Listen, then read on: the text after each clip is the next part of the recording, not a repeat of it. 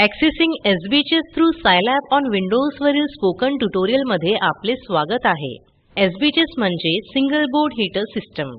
या स्पोकन ट्युटोरियलमध्ये आपण शिकणार आहोत Scilab आणि SBHS यांच्यात सिरियल संचार सेटअप करणे, स्टेप टेस्ट प्रयोग करणे. या ट्युटोरियलसाठी मी Windows 7 ऑपरेटिंग सिस्टम आणि Scilab 533 वापरत आहे. आपण www.scilab.org वरून Scilab डाउनलोड करू शकतो.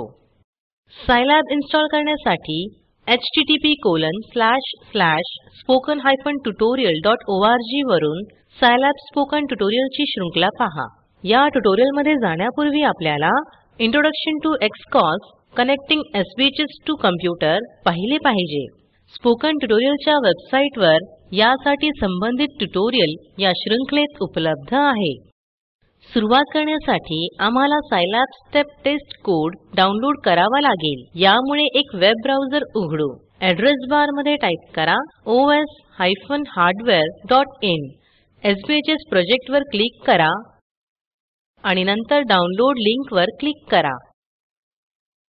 SBHS लोकल कोड सेक्शन मधील उपलब्ध फाईल डाउनलोड करा आणि फाईल डेस्कटॉप वर सेव्ह करा.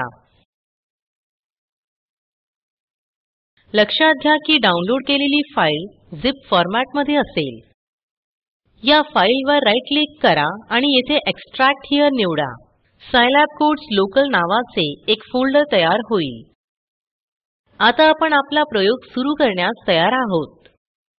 SBGS आपल्या संगणकाशी जोडलेला आहे आणि त्याची पॉवर ऑन आहे याची खात्री करा. प्रथम आपण चेक करूया की SBGS ला कम्युनिकेशन पोर्ट नंबर असाइन केलेला आहे. हे करण्यासाठी माय कॉम्प्युटर वर राईट क्लिक करून नंतर प्रॉपर्टीज वर क्लिक करा. एक विंडो उघडेल. या विंडोमध्ये डिव्हाइस मॅनेजर वर क्लिक करा.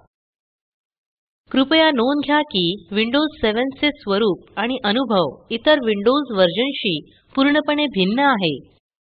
तुम्ही त्या स्टेप्सला देखील बदलू शकता जे मी तुमच्या विंडोज वर्जनच्या अनुरूप येथे दाखवते. डिव्हाइस मॅनेजर तुम्हाला तुमच्या कॉम्प्युटरवरील हार्डवेअर डिव्हाइसेसची सूची दाखवेल. पोर्ट्स, कॉम अँड एलपीटी पर्याय निवडा. हे येथे आहे. त्यास उघडण्यासाठी या पर्यायावर डबल क्लिक करा. जर आपण RS232 केबल कनेक्ट केला असेल तर कम्युनिकेशन्स पोर्ट कॉम1 ला पहा. अन्यथा USB सिरियल पोर्ट ला पहा.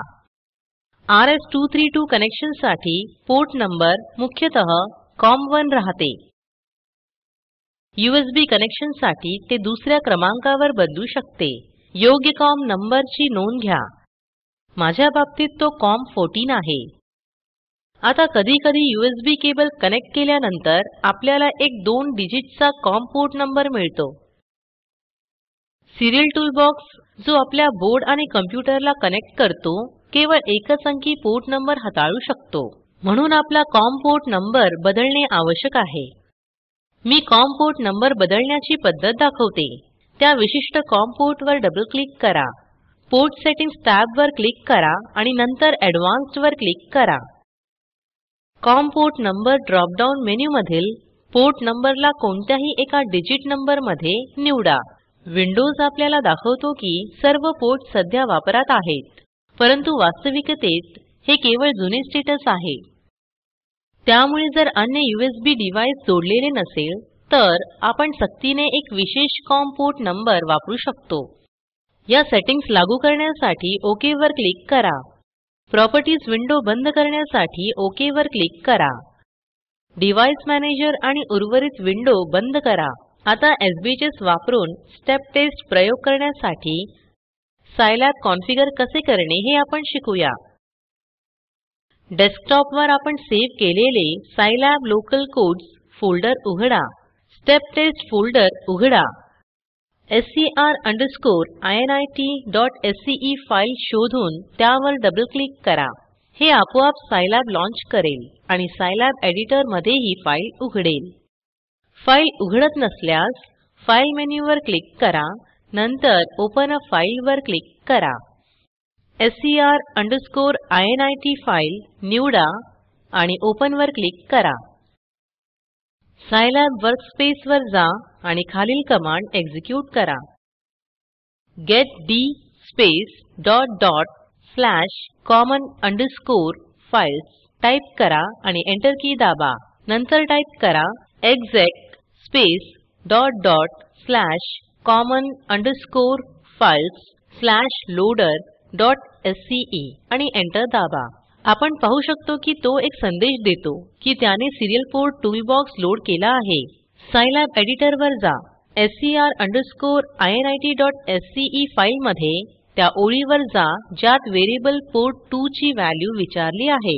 पोर्ट 2 व्हेरिएबलची व्हॅल्यू ओळखण्यासाठी कॉम पोर्ट नंबर्स सह बदलणे आवश्यक आहे. पोर्ट नंबर त्या नंबरशी बदला जो आपण ओळखलेला आहे. जो आपण काही सेकंदांपूर्वी सेट केला आहे. हे सिंगल कोट्समध्ये आहे याची खात्री करा. या फाईलच्या सामग्रीमध्ये कोणतेही इतर बदल करू नका. आता फाईल सेव्ह करा. मेन्यूबारवर फाईलला कार्यान्वित करण्यासाठी एक्झिक्यूट बटणावर क्लिक करा. सायलॅब वर्कस्पेस वर आपल्याला कॉम पोर्ट ओपन मेसेज मिळेल. तथापि असेही होऊ शकते की आपल्याला एक एरर मेसेज मिळेल. मी स्लाइड्स वापरून समजावून सांगते की एक सामान्य एरर कसे हाताळाल मी स्लाइड्स वर जाते.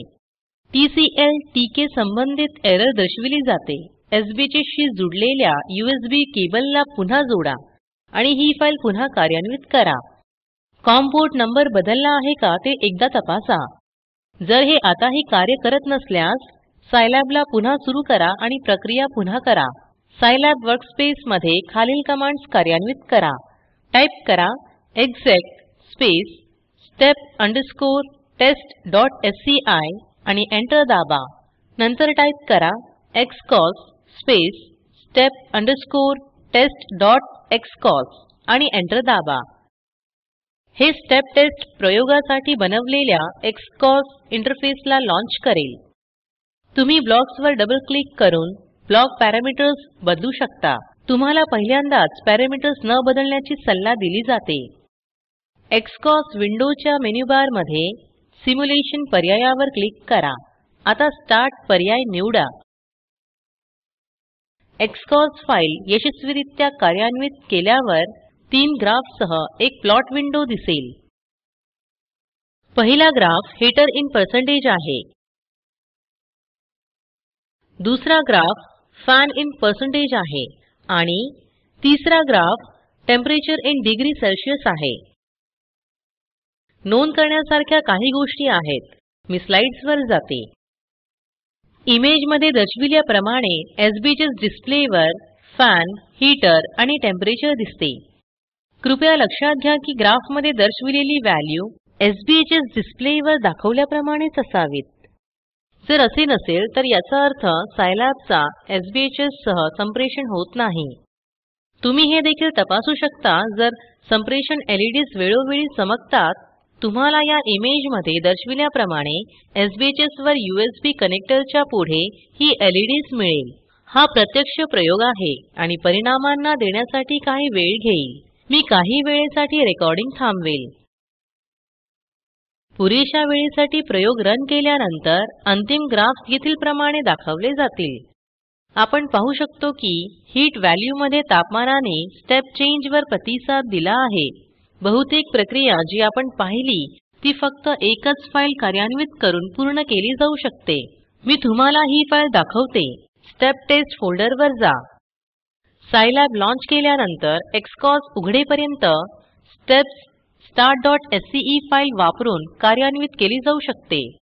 मी स्लाइड्स वर परत जाते. आपल्याला start.sce फाईल वापरण्याची सल्ला प्रक्रिया समजून घेतल्यानंतरच दिली जाते. ही फाईल गृहीत धरते की str initसके फाईल मध्ये दिला गेलेला पोर्ट नंबर योग्य आहे. आता प्रयोग बंद करण्यासाठी एक्सकॉस विंडोच्या मेन्यूबारमध्ये बारमध्ये उपलब्ध स्टॉप पर्यायावर क्लिक करा. प्रयोग पूर्ण केल्यानंतर SBHS ला रिसेट करूया. हे पुन्हा स्पष्ट करण्यासाठी मी स्लाइड्स वर जाते. चित्रात दर्शविल्याप्रमाणे एसबीएचएस वर रिसेट पुश बटण दिलेले आहे. रिसेट करण्यासाठी एक किंवा दोन सेकंदांसाठी रिसेट बटण दाबा आणि नंतर ते सोडा. रिसेट ऑपरेशन हीट 0% आणि फॅन 100% करते. तथापि LCD वर दोन्हीसाठी 0 दिसत आहे. या प्रयोगासाठी डेटा फाईल स्टेप टेस्ट फोल्डरमध्ये सेव्ह केला जातो. मी तुम्हाला ही फाईल दाखवते. डेटा फाईलचे नाव टाइम स्टॅम्पमध्ये आहे. डेटा फाईलचे नाव year month date hours minutes seconds dot TXT ह्या प्रकारे वाचा. मी डेटा फाईलची विषयवस्तू उघडून दाखवते. यात प्रत्येक सॅम्पलसाठी हीट फॅन आणि टेम्परेचर व्हॅल्यूज आहेत. म्हणूनच ही फाईल विश्लेषण हेतूसाठी वापरली जाऊ शकते. थोडक्यात या ट्युटोरियलमध्ये आम्ही सायलॅब आणि एसबीएचएस यांच्यातील सिरियल कम्युनिकेशन सेट करायला शिकलो. स्टेप टेस्ट प्रयोग करायला शिकलो. खालील लिंकवर उपलब्ध असलेला व्हिडिओ स्पोकन ट्युटोरियल प्रोजेक्टचा सारांश देते. कृपया डाउनलोड करून पहा.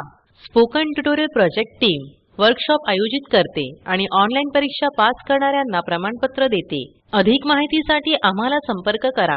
स्पोकन ट्युटोरियल प्रॉजेक्टसाठी अर्थसहाय्य NMEICT MHRD government of India यांच्याकडून मिळालेले आहे. या मिशन विषयी अधिक माहिती या संकेतस्थळावर उपलब्ध आहे. हे भाषांतर किशोर भांबळे यांनी केले असून मी रंजना ओके आपला निरोप घेते. धन्यवाद.